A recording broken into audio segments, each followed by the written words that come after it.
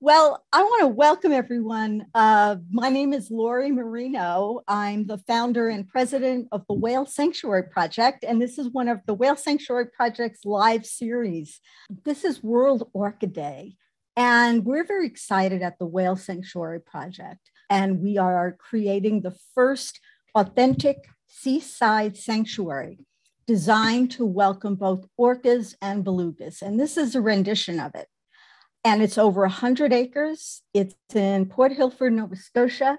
We are thrilled to welcome everyone and welcome you to find out more about what we're doing up in Nova Scotia at www.whalesanctuary.org. And if you have any questions about that, you can always email me afterwards. But let's get back to our webinar so our guest today is, is Ingrid Visser, Dr. Ingrid Visser.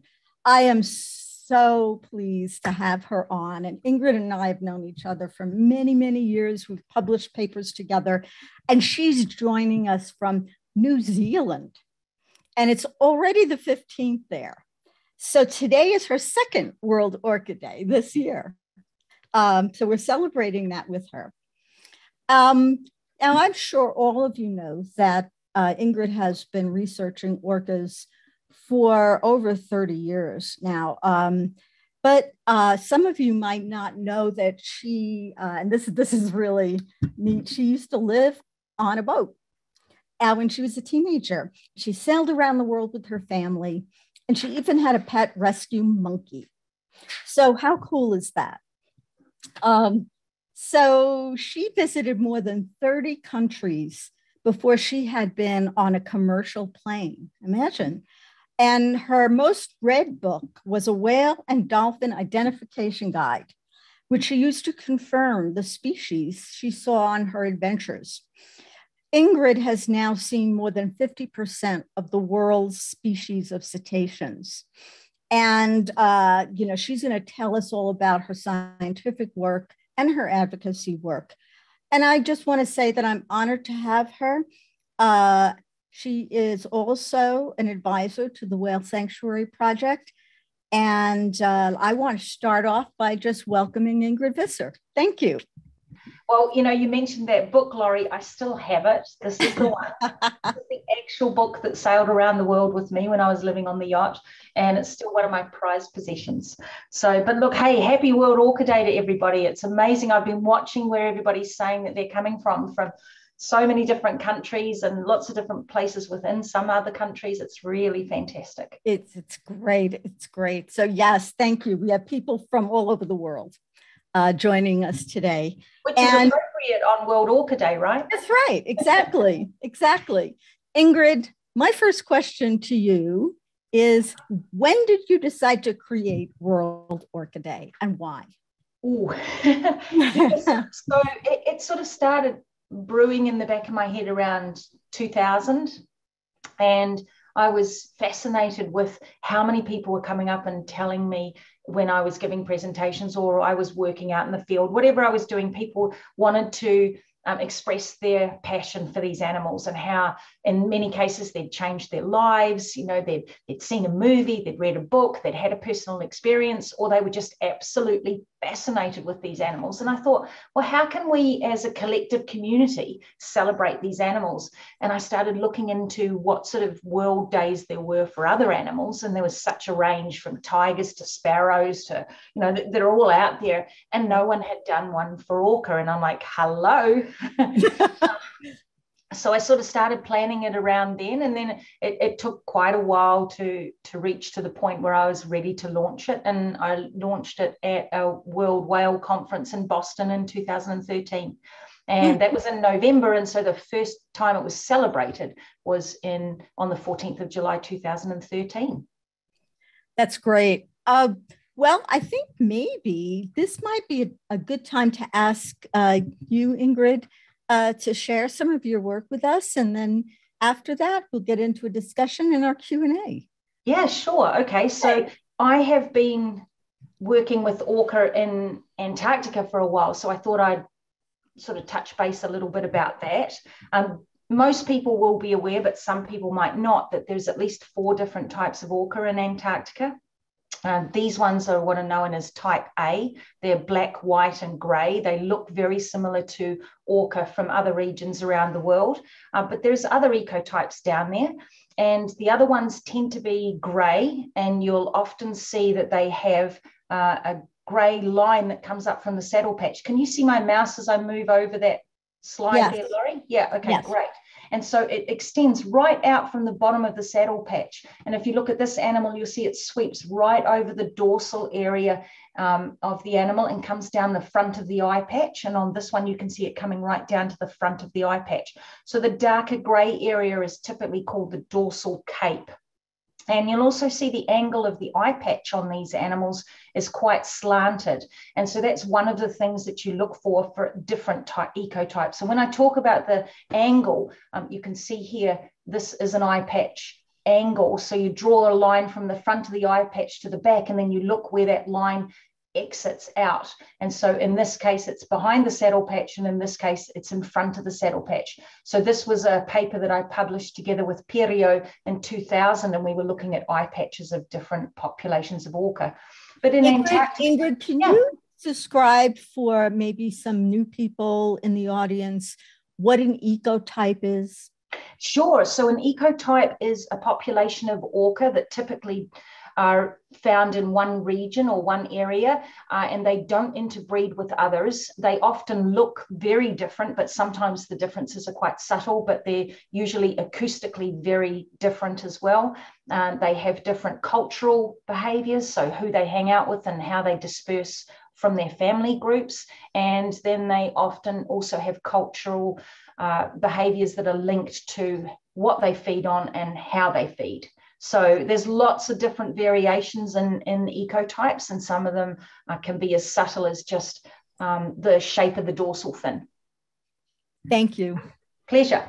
And so the in and one of the Antarctic uh, features that we look for with the Antarctic orca is this yellow tinge, and it's not actually that there's pigmentation on the animals. It's a um, a diatom, a single celled algae that's growing on the skin of the orca. And so you can see this adult male um, that's the, that pretty much fills the screen here, and he's got lots and lots of diatoms on him.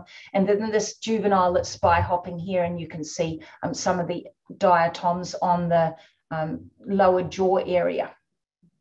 So I started going down to Antarctica in the 1990s and uh, I've been going as often as I can. And these red pins are some of the places that I've seen uh, orca. I haven't yet been fortunate to, to, go around to the other side of Antarctica, uh, but I, I know that there are orca there. I just haven't been there myself and seen them. And when I'm down in Antarctica, I'll go by working on ecotourism ships. So this is an icebreaker on the left. And when I'm on board, I'm uh, usually driving the small inflatable boats and uh, taking the people out to see the animals. And so this is one of the other ships that I've worked on. And you can see this is a type B orca with a really big white eye patch. And you can see the dorsal cape over the, the back of it as well. Mm-hmm. And when I'm on board the ships, I give lectures and presentations. So something similar to what we're doing now, but a little bit more focused. And uh, we'll, I'll talk there about things like the Antarctic killer whale identification catalogue, which I set up. And that was the first identification catalogue for orca in Antarctic waters. Mm-hmm. And when we're working on these ships, the weather can be quite horrific, obviously, down in Antarctica. Uh, and often we'll actually be operating just from the big ships and we get lucky enough that the orca will come in close and, and we can get some great behaviors and photos. But we also do get those spectacular days down in antarctica where conditions allow us to go out in the inflatable boats. And uh, this is me in the purple and you can see the orca will come up to those boats as well which is really quite a magical moment.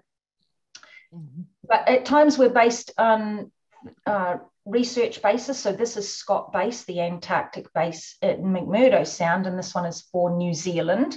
And when we're at those locations, uh, we typically go out with ski doos uh, and we take all our research equipment on sleds. And then we've got our tents with us as well, because if the weather turns bad, that we're self-sufficient, but also sometimes we'll stay out overnight. Uh, so we pitch our tents on the ice shelf and uh, secure them with blocks of ice so they don't blow away. And this is my tent, and you can see some of my research equipment there. And then this black cable over here uh, is going down into the crack because I wanted to record the sound of the Weddell seals when they go in here and, and swim.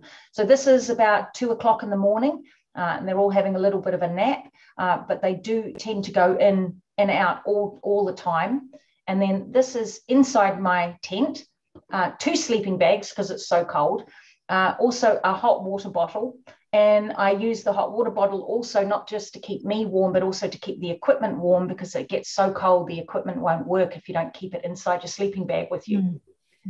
Uh, but we do go out in the helicopters and meet the locals. Uh, and here you can see again our gear uh, on the side here that we've got in case we get stuck with bad weather.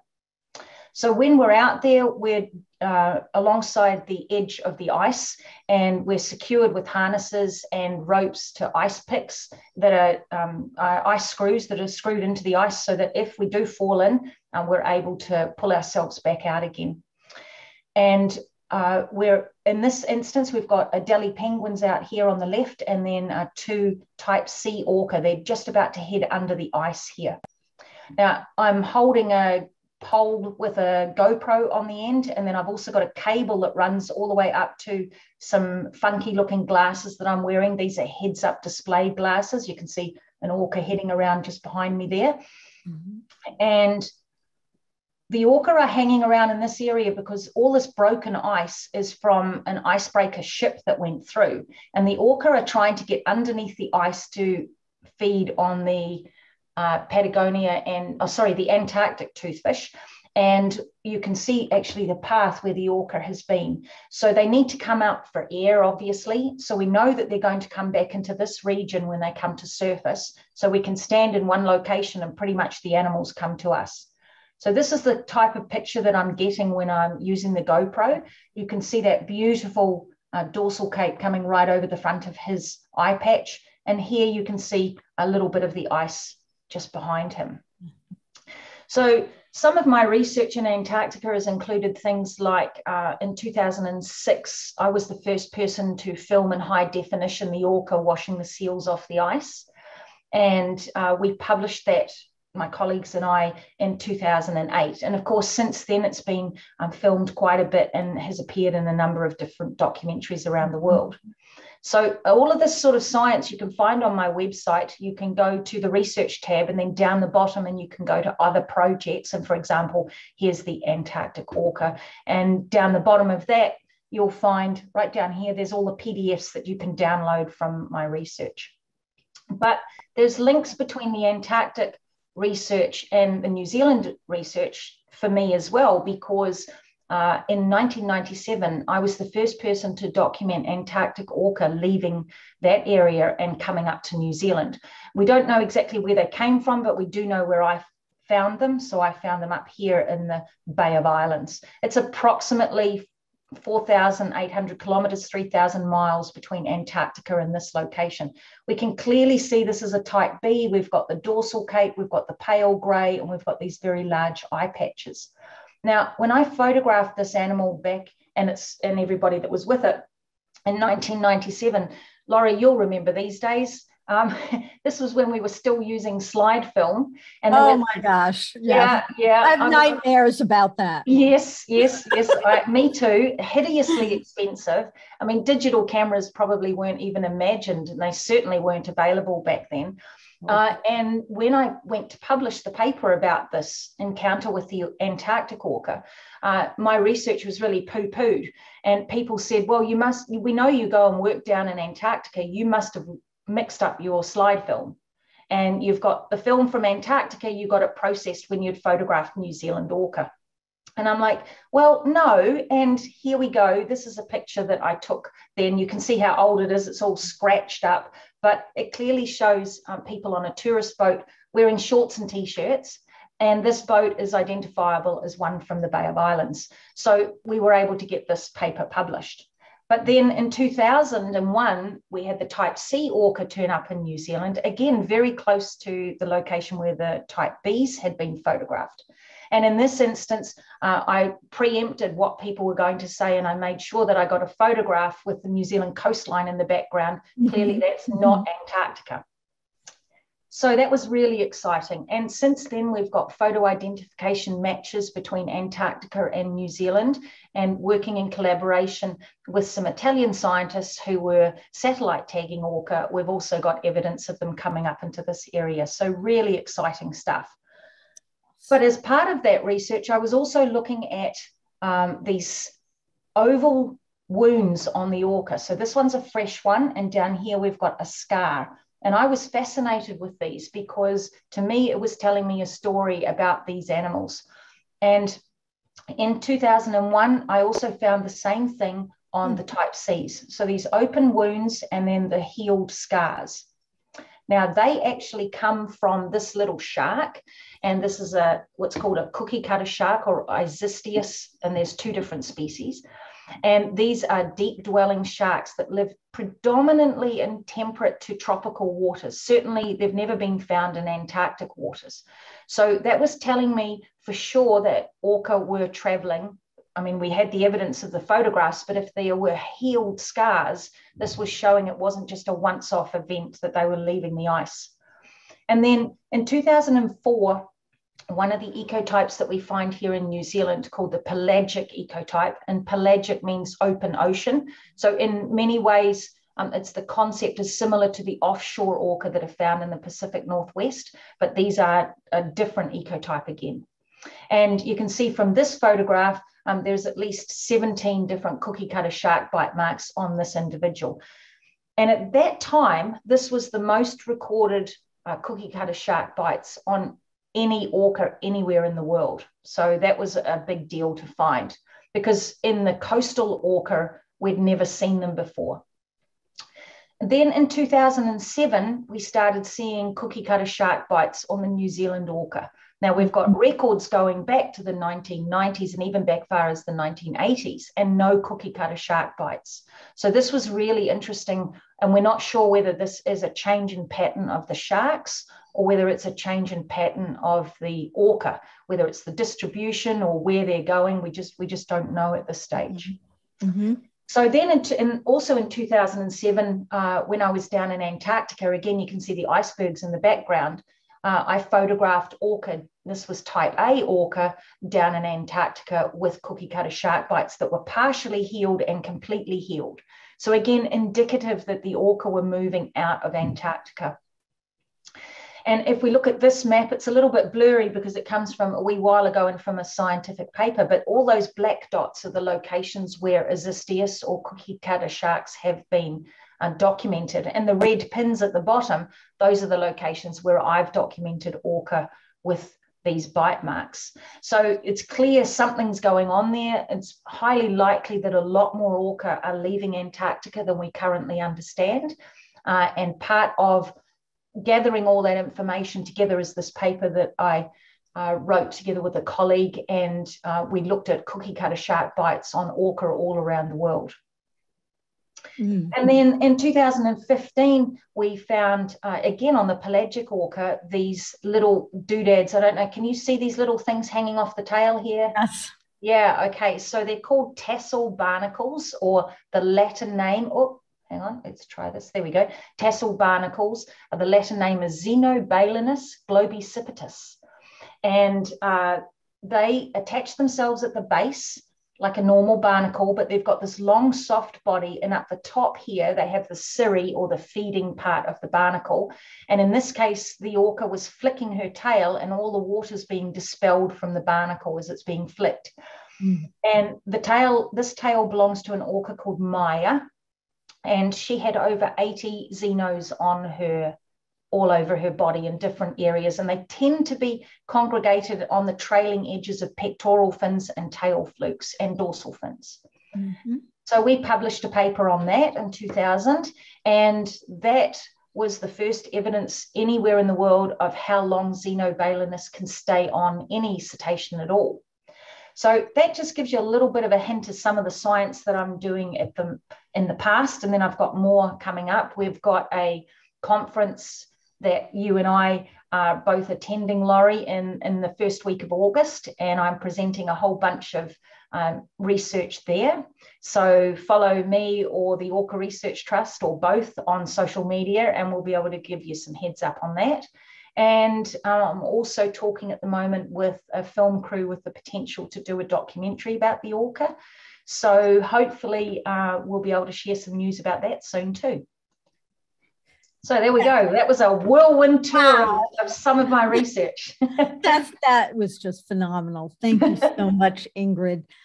Um, before we get to our Q and A, I really, you know, I want to ask you a little bit about uh, what you think is one of the most remarkable things that you've learned about orcas and all the time that you've been studying them. What has struck you about? Yeah, yeah, wow, that's a great question, Lori. I think. Oh, how long have we got? um, Go for I, it. Yeah, I, I think it, it's it's the diversity. The, I think the parallels between humans and orca are there's so many parallels that we can draw, and and we look at cultural diversity with humans and how diverse that is. And everywhere that I go and i I see orca, I see this different cultural diversity. And I think it is completely overlooked um, in the general sense, not by orca scientists and whale biologists, but in the, in the general sense, people tend to think not orcaholics like all of us um, that, are, that are on the webinar here, but you know that the general public just seem to think that an orca is an orca and it's all the same. Mm-hmm. and so i think that there's a big role for world orca day and, and everybody who's here with us on the webinar to help educate people about just how diverse they are and each population should be protected as, a, as its own entity. That's a great that's a great point. Um, and in just from a very foundational level I mean, this kind of work and this message speaks to the fact that it's true that many people see animals as just this monolithic thing. Orcas versus a beluga whale versus a blue whale versus a horse versus an elephant and they're all the same but now we know that they're not that, that there are individual communities that have cultures their own cultures so very different from each other, just as we know that there are cultures among humans. Yes, and also that there are individual differences within those cultures. Absolutely, right? absolutely. I mean, the personality personalities of, of, of, the various orca that I've met, from be it at Keiko or Maya or, or any of the orca that I've met around the world. You know, there's very strong personalities in all of them. And, and some of them are very consistent and some of them change as the animals change through their, their life mm-hmm. periods. Mm-hmm. So you might have a calf that's very bold and, and will, you know, very curious and fun and playful and um, playing with everybody else in the group. And then that young calf might become a mum and suddenly she becomes much calmer and stoic. And, and you know, she's watching her calf and sort of like, no, you can't go and do that naughty stuff. I know I used to do it as a kid, but you can't. yeah. right. Yeah. Exactly. Exactly. Um, can you tell us a little bit about the uh, the rescue and rehab efforts you've been part of? Because that's a really important part of your work. Oh, absolutely. I mean, New Zealand, we didn't know this at the time when I was starting doing my research, but New Zealand has the highest rate of orca strandings in the world. I mean, mm. we hmm. average one a year. That, that doesn't sound like a lot, but if you compare it to, say, Australia, they average one every 14 years. Mm. So, you know, one a year is pretty high. And one of the things that I've really noticed when I'm doing the research with the orca here in New Zealand is that strandings are happening a lot more than the average person realizes as well, because you'll get a stranding that um, the animal needs rescuing and that makes the media.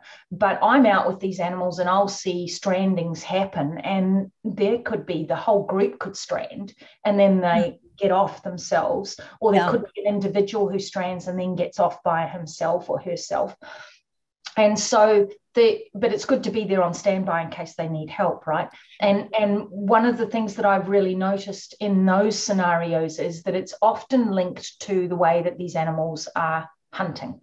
And so when they're hunting for rays in very shallow waters and they're so focused on getting that food, uh, that they're, they're often misjudging a wave or the depth of the water or the stickiness of the mud because they're, they're, they're going over the top of the mud and then the mud's getting stickier and stickier yeah. and then there's less and less water and then suddenly it's like and then they're stuck there. Yeah. Um, and it's almost like a suction.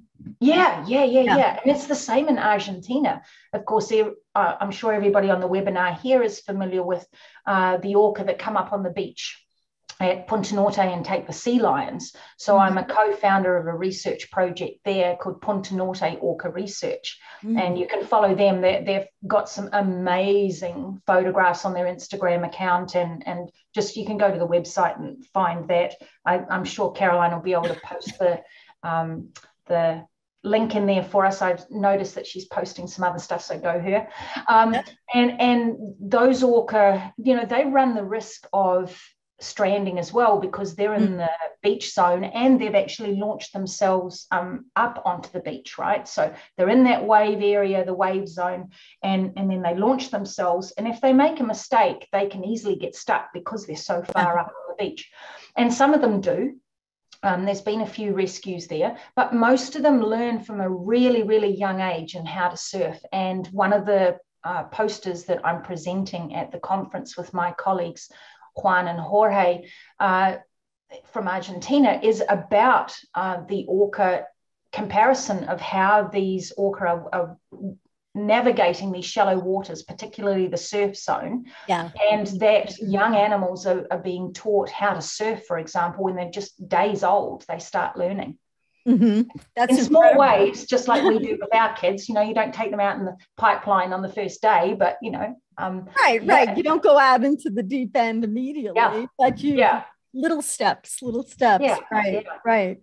Well, you've got an amazing skull behind you, and as someone who's done a lot of work with crania and fossil cetaceans and all kinds, I'm immediately drawn to that incredible skull behind you. Can you yeah. can you say what who that is, what that is, and uh, point out of the features of it? Yeah, well, actually, it was at the back of the room, and I brought it forward specifically for the webinar because I think That's it's good. such an incredible.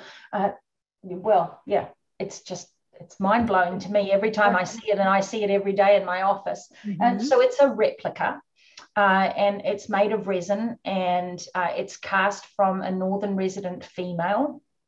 And uh, you can see the, the really large teeth on it, obviously, and that's how the teeth uh, typically look for a wild orca, you know, in comparison to, as we know, um, the broken and cracked and worn down teeth that you typically see in captive orca. And I thought actually it would be kind of fun to show you a, a replica tooth up close as well, Lori.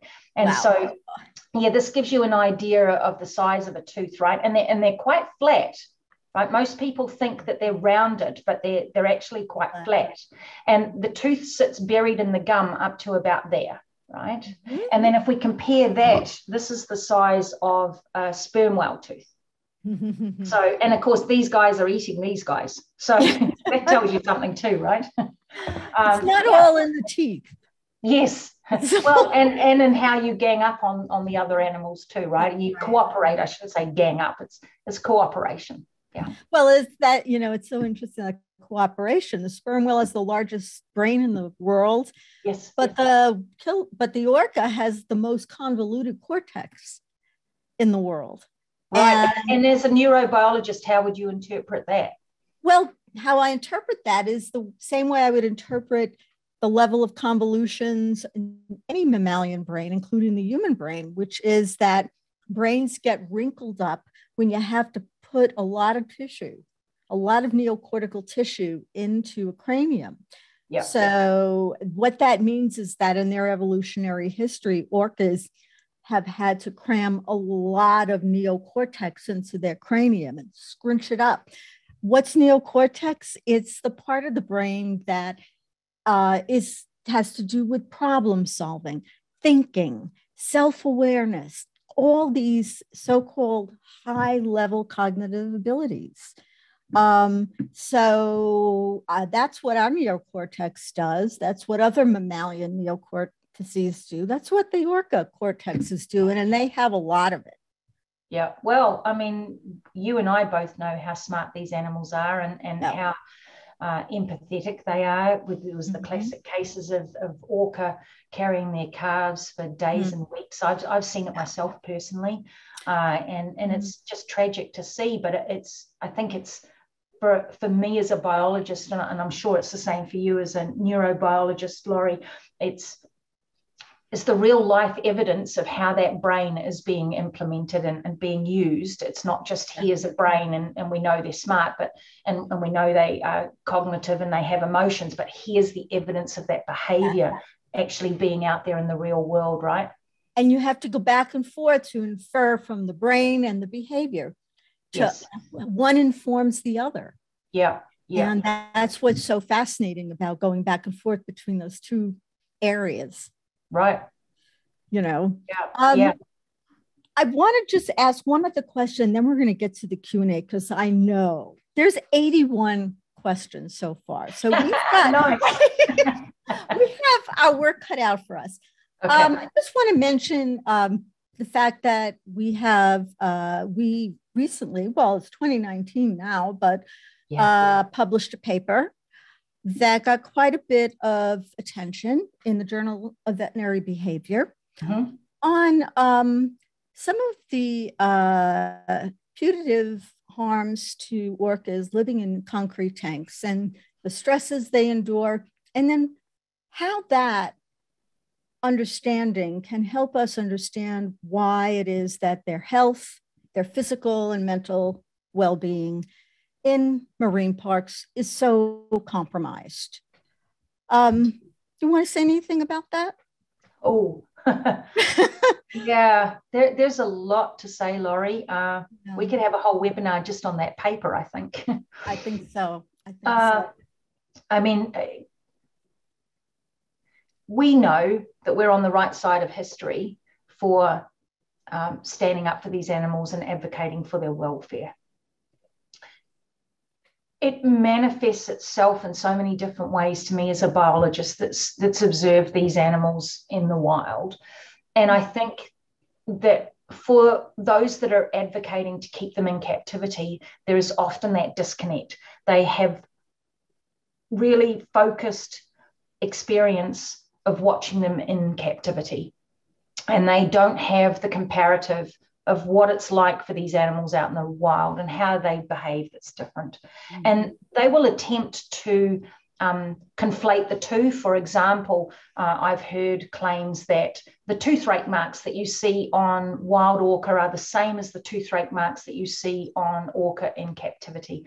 And there may be some truth to that in that it could be possibly aggression related. But I think what the difference is that in captivity, these animals are being forced to socialize with animals that they may normally not. So, for example, or, uh, in Loro Parque in Spain, Morgan the orca, uh, she is from Norway and she's been put with captive born orca who were hybrids from uh, basically from SeaWorld in the States, from the orca that they've collected over the years. Mm-hmm. And uh, the aggression that I saw there. I mean, she she was rammed so hard that she was lifted out of the water, mm. and you you just never see that sort of behaviour going on in the wild. You see young ones playing and they're rambunctious and and things happen, but it's it's not that that concentrated and really focused aggression that you see in uh, right. captivity. And and the same with the teeth. You know, the captivity industry will often tell you that the teeth that are worn in captivity, it's well, you see worn teeth in the wild, therefore it's the same. And, and that's just pulling the wool over people's eyes and, and trying to hoodwink them and smoke and mirrors, you know, like watch here and something else is going on over here. Because the angle of the uh, the wear on the teeth is completely different compared to in the mm-hmm. wild and captivity. Um, yeah. The type of breaks is different, and the causative factors. So the orca, as you know, uh, you know they're, they're, chewing on the concrete or gnawing on the concrete. They're they're um, smashing up on the bars. They're breaking their teeth on the toys. And in the wild, um, bro- broken teeth typically seem to occur from uh, when they're hunting. And the worn teeth seems to be a combination of uh, potentially sucking in water so it wears down the teeth. And, and people say to me, but can't hang on, teeth are really hard. And, and how can water wear them down? And I'm like, well, the Grand Canyon was worn away by water. So, you know, you can wear away teeth from water too. Um, but also, that's a systemic thing that, that happens as the animal ages. And mm-hmm. yet, in captivity, we're seeing animals that are just a few years old with, with the worn, broken teeth. Yeah.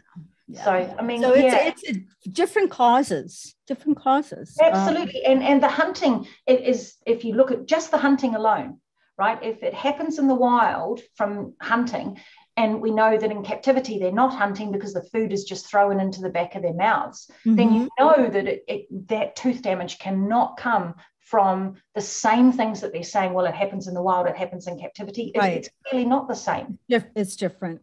Well, yeah. we could go. This one of the things we outline in our paper. Yes, that's a stereotypy and oral stereotypy, which is yeah. a stress-related uh, problem um, that uh, the majority of orcas in captivity have.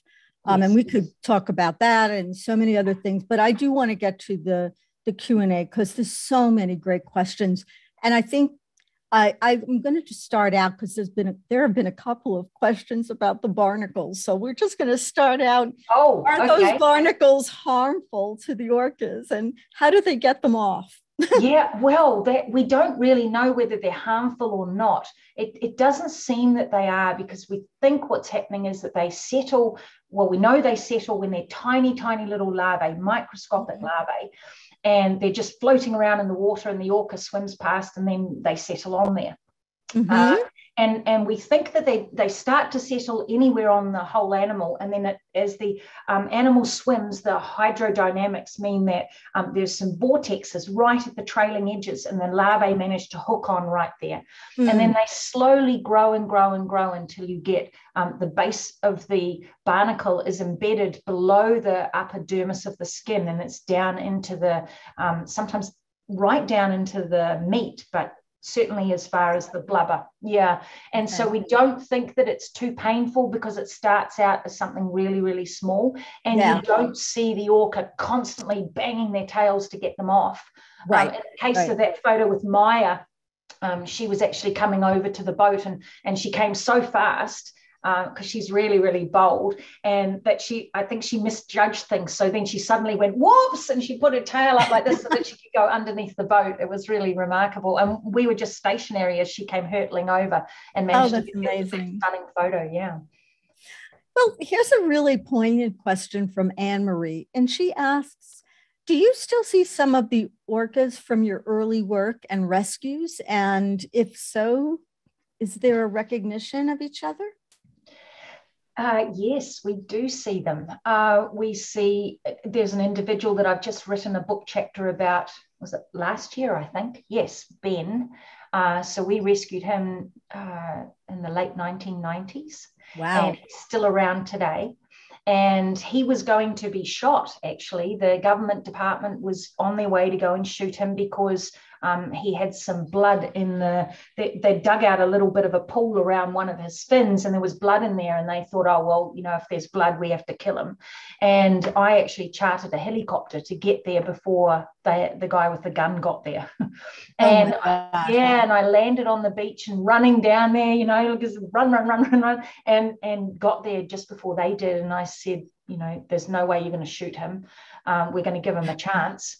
Yeah. And here we are um, 20 plus years on and he's still going. And the really amazing thing is that uh, we've been plotting all his movements that we have photographs of.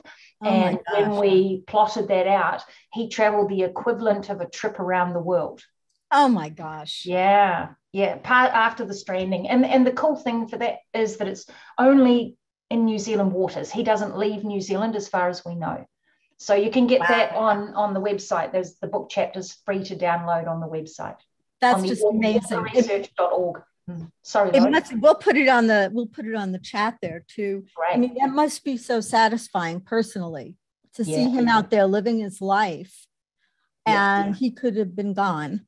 Absolutely. Absolutely. Right. right. And, and, we had a female uh, who was tangled in a craypot line, and we talk about her in our paper as well, Lori. And and the the stress captivity one That's talking right. about how there's that empathy and, and animals supporting and looking after each yes, other. Yes. And and she was tangled in a line, and her uh, current calf and her previous calf were both underneath her, supporting her.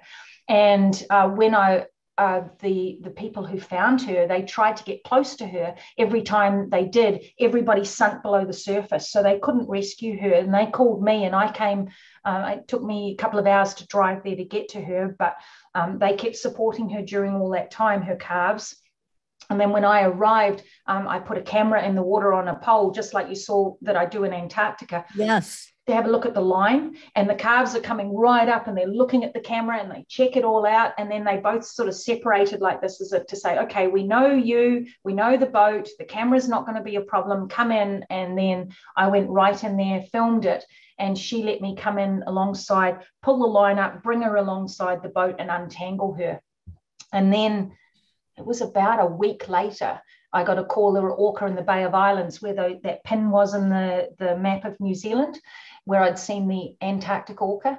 And I went up there and it was her and her family. And they came over to the boat and they were literally pushing each other out of the way to be able to get up to the oh. side of the boat, um, which I felt was a kind of, you know, you don't want to put too many human emotions on it, but it was almost like a thank you. That was pretty amazing. Mm-hmm, mm-hmm. Yeah. Oh my gosh, that's so touching.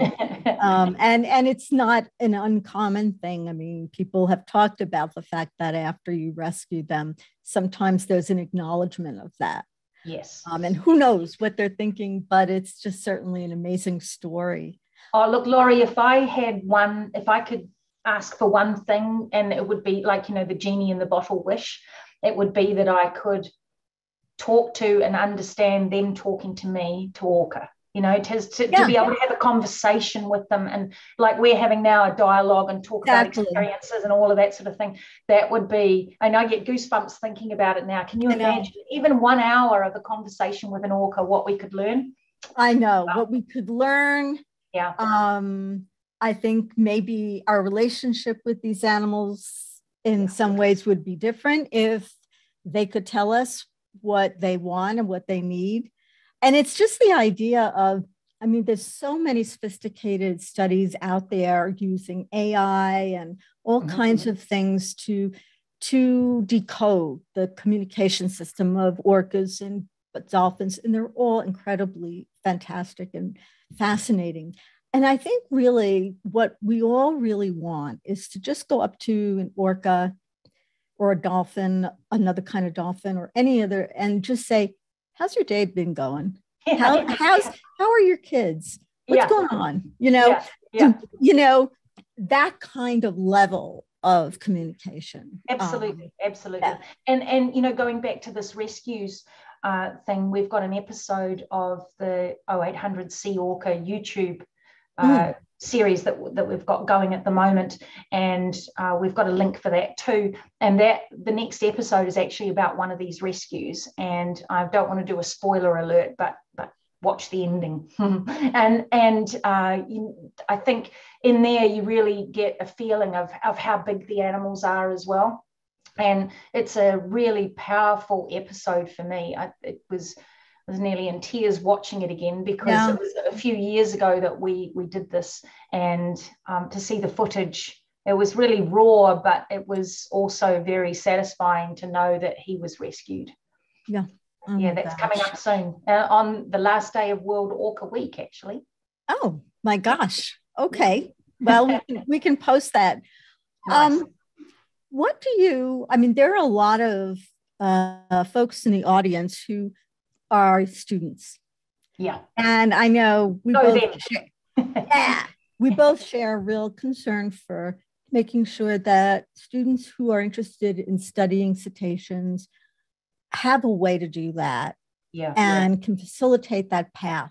So here's a question from uh, Samantha. What would you suggest to a little girl, and I would add a little boy, who wants to study orcas in the wild like you? Any kid, right?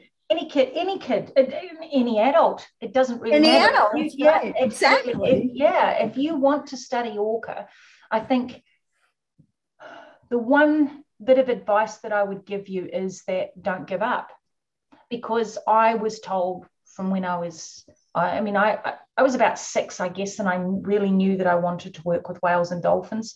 Mm-hmm. And, and I was told that I would have to go and work in an aquarium to do that. And I knew at that age that wasn't what I wanted to do. I, I didn't understand why, but I knew that wasn't what I wanted to do.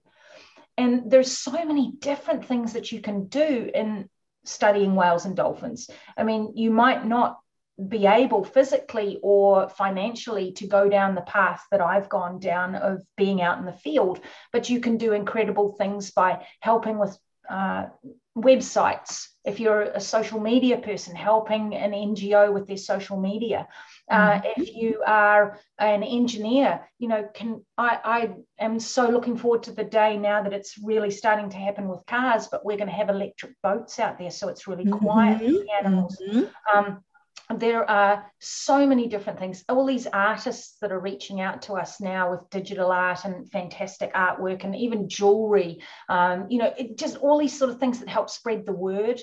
Um, but if you are a, a true student and you're in, in the academic path, uh, mm-hmm. that's a slightly different twist on how you can help out.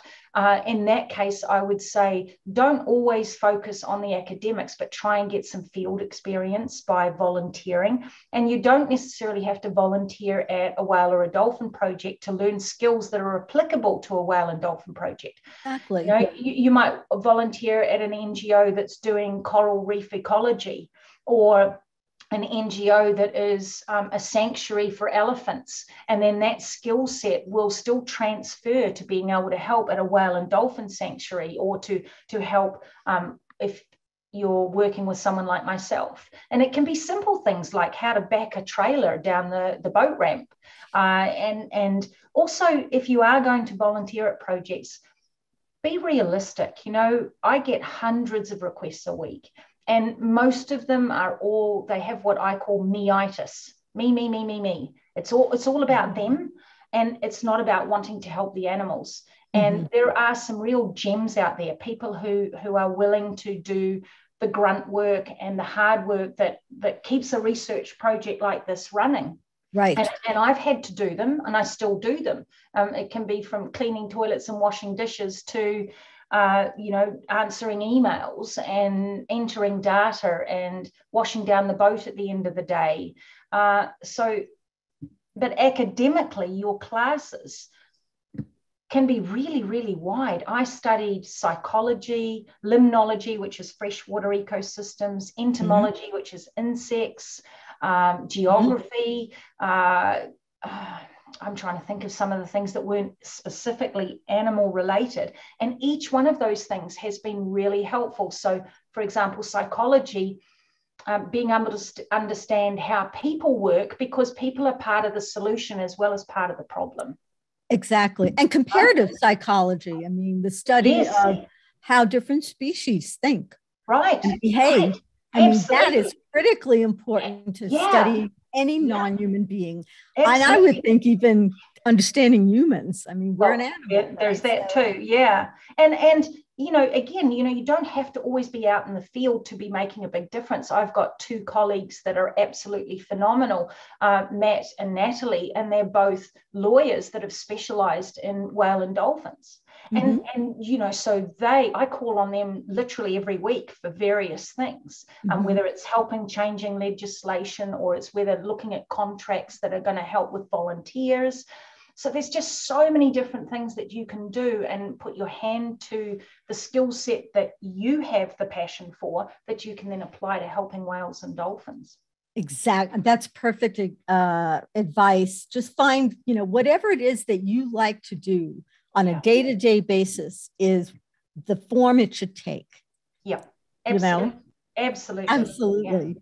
Yeah, and, um, and, look, go go to World Orca Day as well, Lauren, yeah. website, and we've got a list of supporters, and there's different companies that are supporting us in different ways too. So that's right. They might have a product that they donate that we can use as prizes, or they might have a product that we can use um, in our field work, or they might be spreading the word on social media, or they might be, you know, there's all sorts of different things. They're creating mm-hmm. things and selling them and donating some of the profits to different research projects around the world and different um, educational programs. Exactly. So, yeah, there's there's some really great supporters in there that, that I would encourage everybody to check out. Well, Ingrid, how old were you when you had your first sighting of an orca or an encounter? Oh, um, I probably would have been somewhere around 16, 17, because mm-hmm. we were living on the yacht and sailing around the world. Um, my, my parents were both from the Netherlands and they came to New Zealand, and I was born here with my, my sister was born here too. And our parents decided that they wanted to go back to the Netherlands and take us and they went to a travel agent and they said, you know, family of four, go to Europe, little bit of a tiki tour, come home. How much will that cost? And um, the travel agent gave my dad a price, and he went, "Oh, good lord, I could buy a boat and sail around the world for that." uh, so, so, he did, and and that's how we we ended up on our our wee adventure. But yeah, so but I only saw them off in the distance. I didn't get any real close encounters. That wasn't until I was actually enrolled at university and mm-hmm. I was studying oysters at a oh. marine biology lab. Yeah, well, at least it starts with O, um, and because I had to get into marine biology somehow, and you can't, couldn't, I couldn't find anybody who was willing to take the risk on a subject like orca here in New Zealand because no one had studied them before.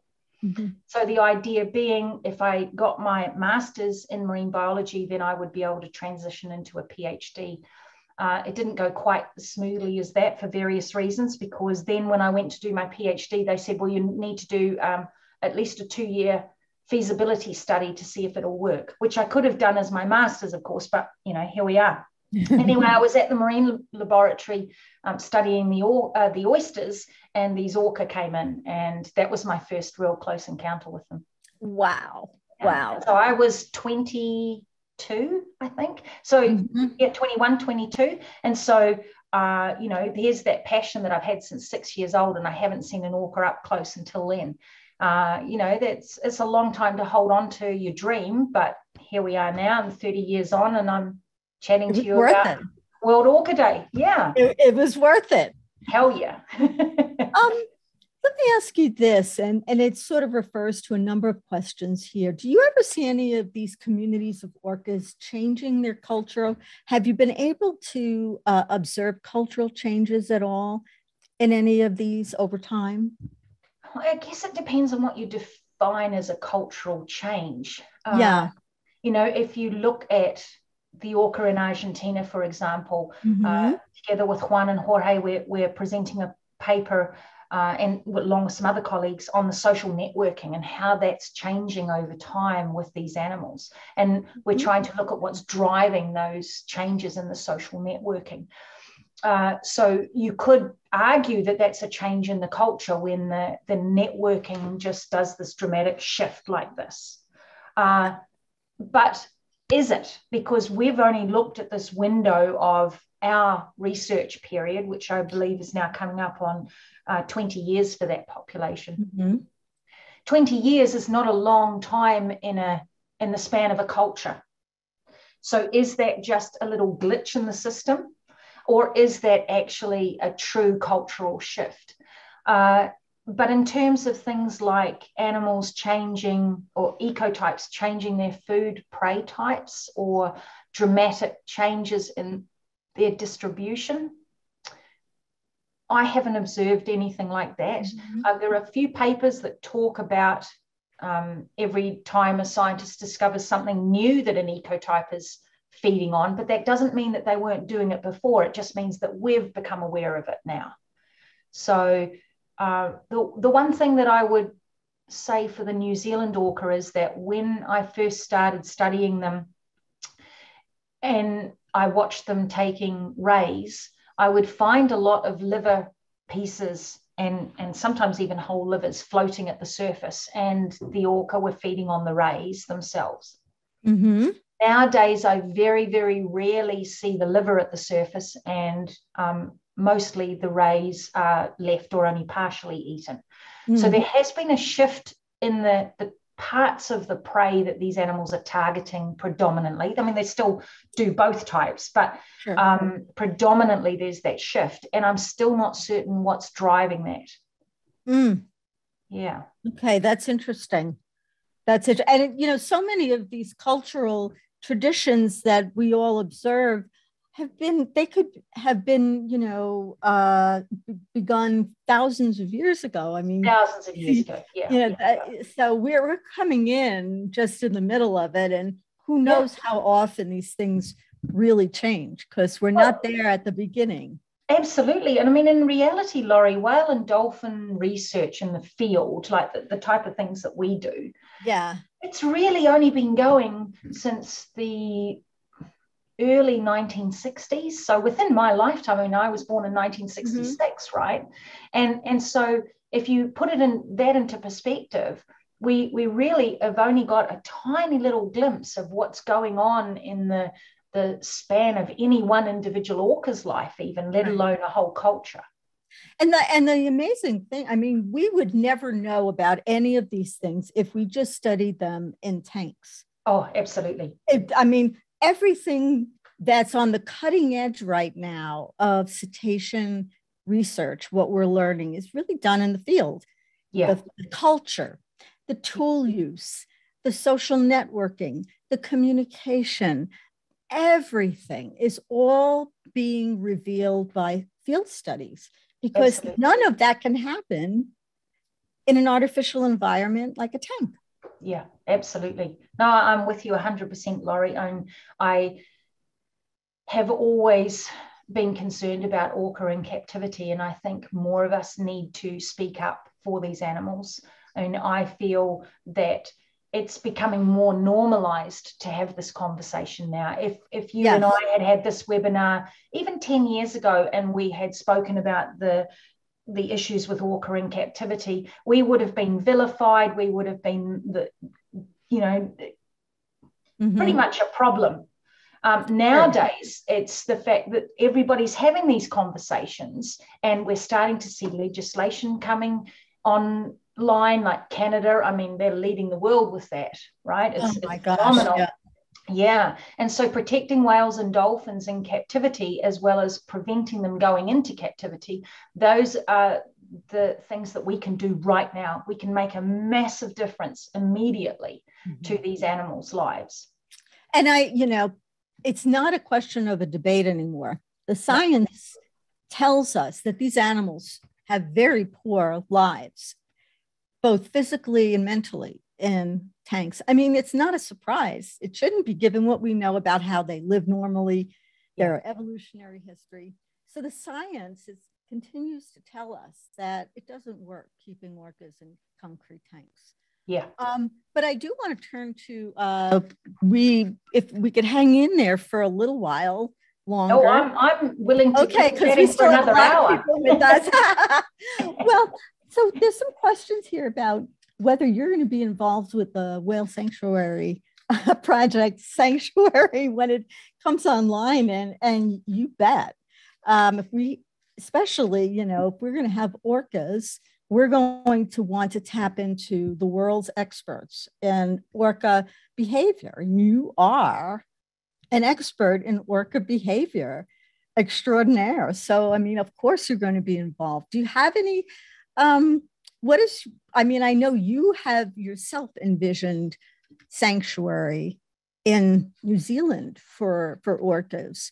Um, what does it mean to you to have sanctuaries for orcas coming out of the concrete tanks and going into a more natural environment? I, I can't imagine what it would be like for an orca to transition from that but I think we all get the tiniest little bit of a glimpse, just a glimmer of what that might be like when we consider what most of us went through during lockdowns. and then when the lockdowns were list, lifted, how we felt very confined in our homes. And yet we still had social media and, and TV and, and our families and the telephone, and we could order food in or we could right. you know, go to the supermarket and, and still get the food that we liked.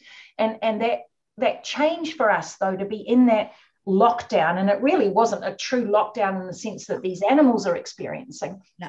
If we take that and, and we imagine how it would be for an animal that's gone from a, a, a blue box into suddenly this in the real world, yeah. right? The open ocean, yeah. but with a with a um, net around it to protect them so that we can still keep caring for them properly.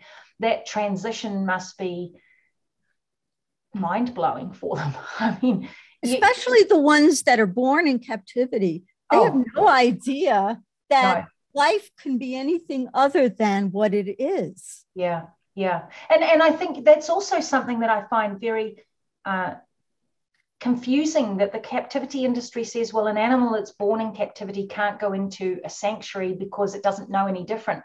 Well, that that's just wrong, and because it doesn't know any different doesn't mean that it wouldn't experience the in, improved welfare if you put it in a sanctuary. And we know, look, we know that if you're born in captivity, it doesn't give you any benefit in terms of being able to cope with captivity. So the, the problems that you see, stress related diseases and stereotypies that you see in wild caught orcas put in tanks are found in captive orcas.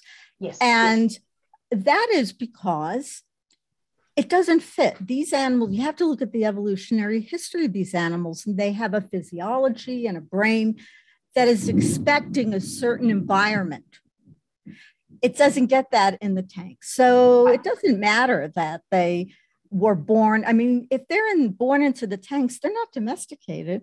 No, they're wild. They're wild animals. Absolutely. They and their look, their brains are looking for the same inputs that any orca is yeah. looking for. Well, yeah, you don't undo evolution in a single generation no. by being born in a concrete tank. So, no. Uh, yeah, no, no, it's it's really tragic. And and look, I know that um, I want to do a little plug for the Whale Sanctuary Project here because I know that you guys are looking for funding and and uh, you know like the Orca Research Trust and like myself, um, we don't get government funding, we don't get university right. funding. We're all we're all scrambling um, to try and and make uh, this work on tight budgets. So it would be really great if people can check out the Whale Sanctuary Project. I know that you guys are looking for donations and thank you. Yeah, it, it's a really valuable project to be involved in, and I'm truly honoured to be on the board of advisors, Lori. Well, we are honoured to have you for sure. Um, I wonder if uh, you might, uh, let's see, there's something about, um, here's a question from Viet. Are orcas able to differentiate humans from other animals? I think the answer is yes. I think if they couldn't, there'd be a fundamental flaw in the way that they process things. Right. I mean, exactly. they, they, they, distinguish, you look at different ecotypes, for example, uh, here in New Zealand, the coastal orca, they don't feed on pinnipeds, they don't feed on seals or sea lions. Uh, and yet they'll swim right past a seal or a sea lion. It's not like there are no seals or sea lions here for them to feed on. They right. just don't feed them. So they can distinguish between a seal and a sea lion uh, or a dolphin even if they're mammal eaters, they're still not feeding on the seals. So if they can distinguish between those two things, surely they can distinguish between a human and a dolphin or a human and a penguin or and they even, and, even and, individual humans. Well, I was going to say, I mean, farmed animals like cows and pigs can um, distinguish one human from another. Yeah. Well, um, well, when I worked with many animals can, right? Right. Oh, yeah, for sure. And when I worked with uh, Keiko, when I was with the Ocean Futures mm-hmm. Project uh, and, and Ocean Futures Society, sorry, and I was working with Keiko from Free Willy in Iceland. And it was very interesting to see how he reacted to different people and mm-hmm. uh, how he had different behaviors that he would do for certain trainers and not for the others. And certain caregivers he would um, be really engaged with, and other caregivers he was like, oh, well, you know, feed me the fish. And, you know, that's it. Thank you very much like you but don't love you.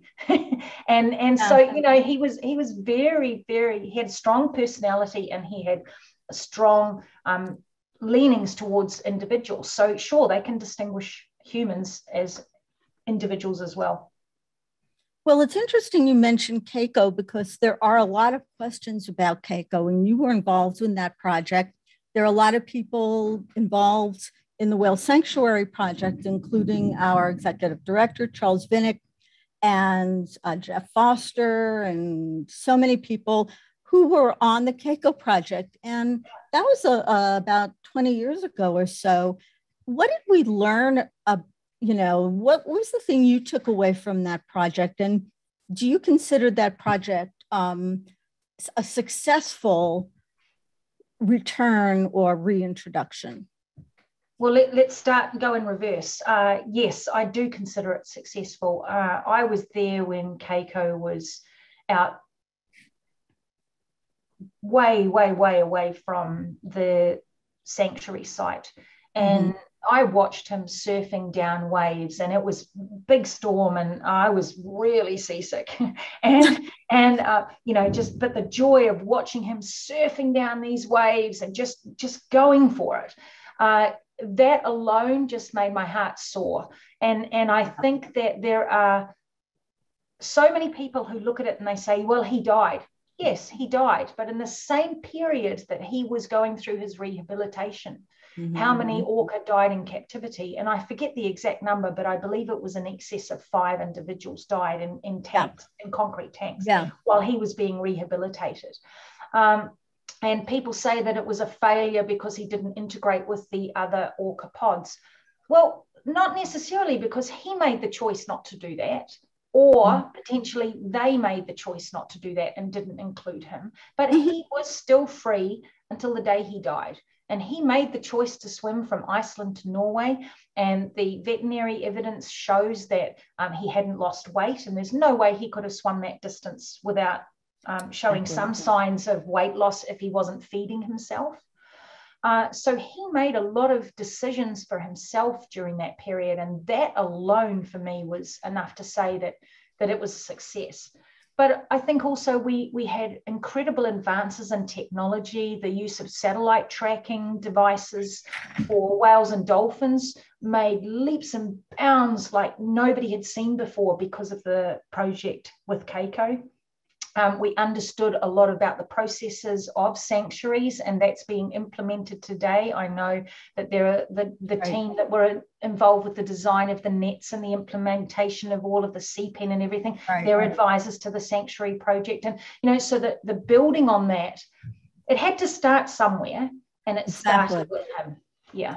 Exactly. And a lot was learned, but I mean, we, like and, you said, and, I mean, sorry, sorry, Lori, I didn't no, to please. you up. And, and I don't mean that it didn't that there weren't other rescue programs and rehabilitation programs for whales and dolphins, but in terms sure. of orca, um, he was the start for the orca process, and and there was lots of stuff, great stuff that was done with whales and dolphins prior to that, but um, Keiko was certainly a pivotal point. Yes, absolutely, absolutely, and he did enjoy incredible quality of life. I'm just going to lean over here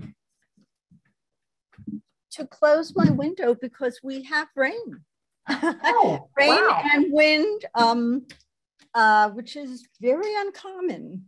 Uh, okay, well, in, I hope it's not too hot for you in there. no, it's okay. It's okay. Let it rain. We need it.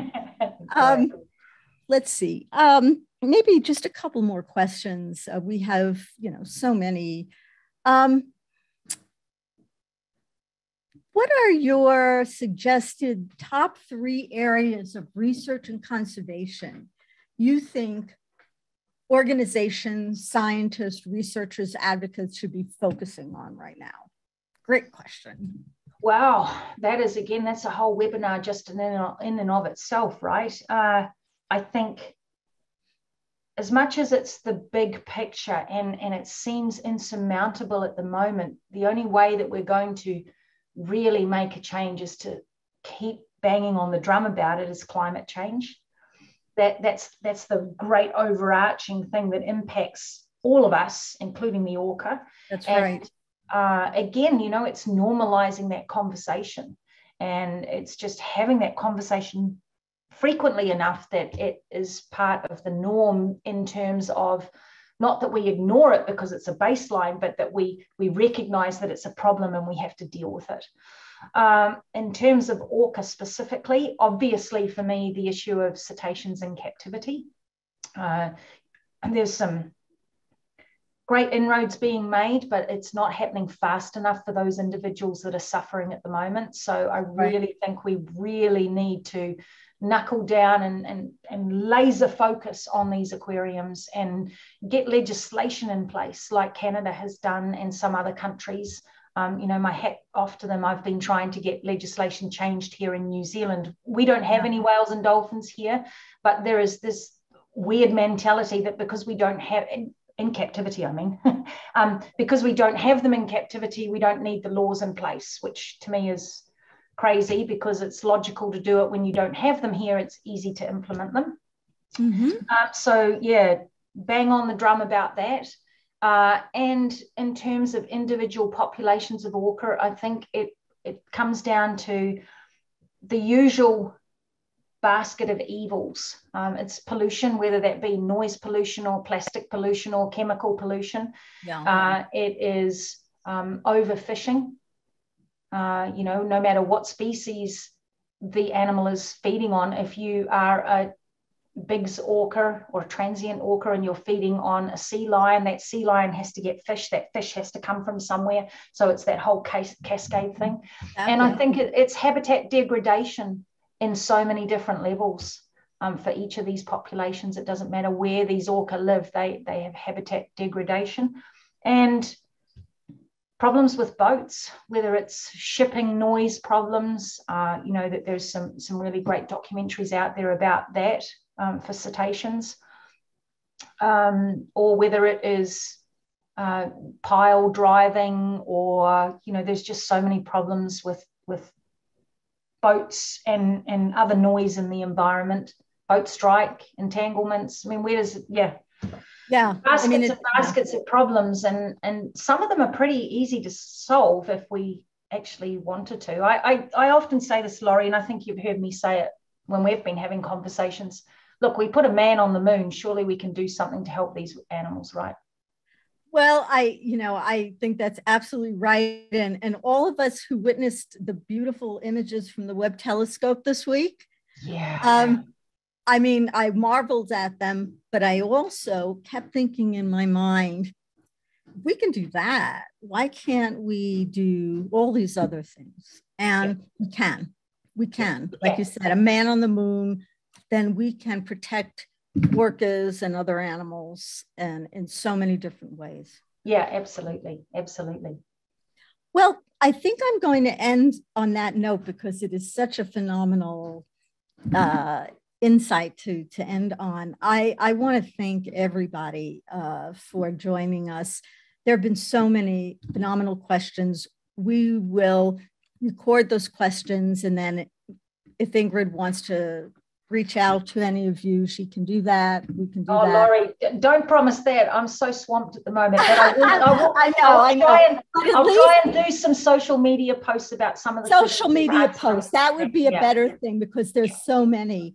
Um, I want, you know, just Ingrid, thank you so much for sharing your life, for your research and your advocacy, and um, just for, for all the, the decades of work that you have done and continue to do um, on behalf of, of these, these beautiful animals. Um, we're all indebted to you for that. And uh, we're honored to have you as part of the Whale Sanctuary Project um, and look forward to a time when um, captivity for orcas is a thing of the past.